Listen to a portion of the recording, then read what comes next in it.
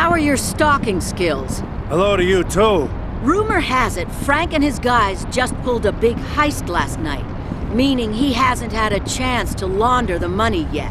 That means somewhere out there a big, beautiful stack of money is sitting in a storage locker. Now that's an image.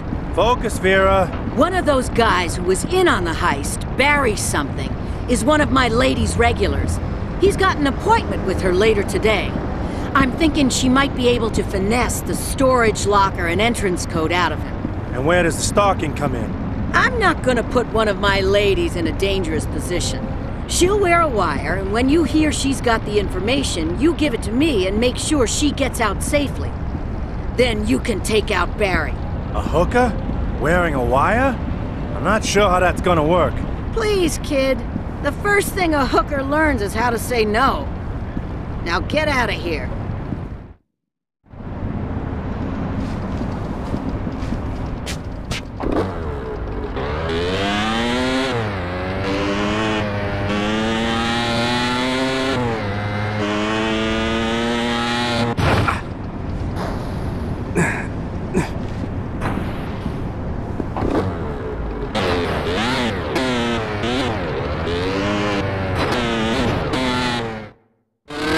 Hello, Barry. Don't you look nice tonight?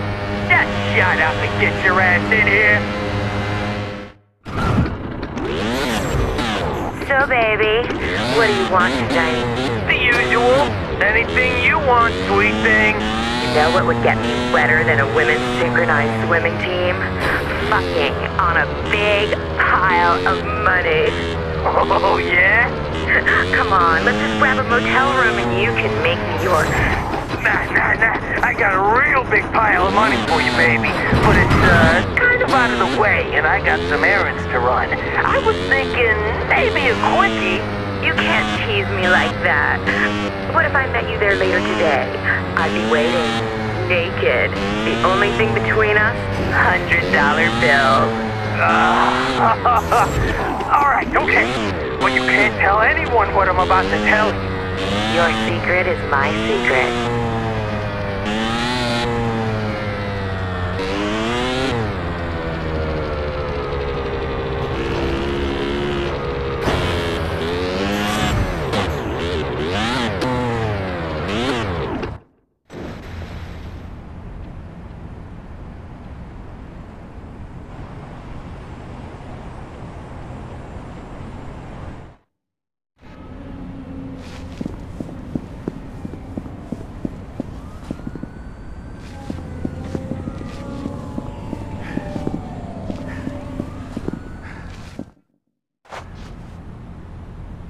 Go to locker 240 at Store and More across town.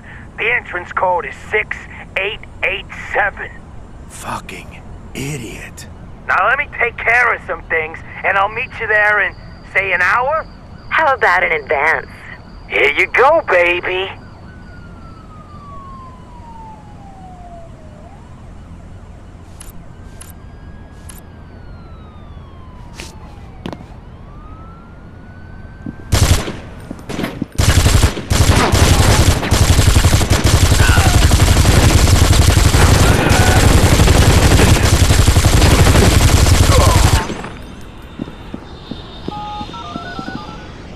Store and more. Locker 240.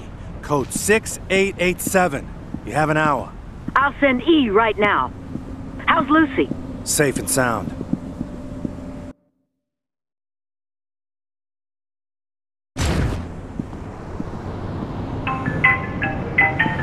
Yeah, My mom ran off with an Elvis impersonator when I was three, and so I was raised by my dad, who was a cop, and he was a badass, and he was kind. And he taught me how to shoot a gun and take care of myself, and then he launched an internal affairs investigation against some crooked cops, and he was shot in the back of the head in an alley because, you know, corruption and greed and stuff. And so, what? you wanted to know my story. There it is.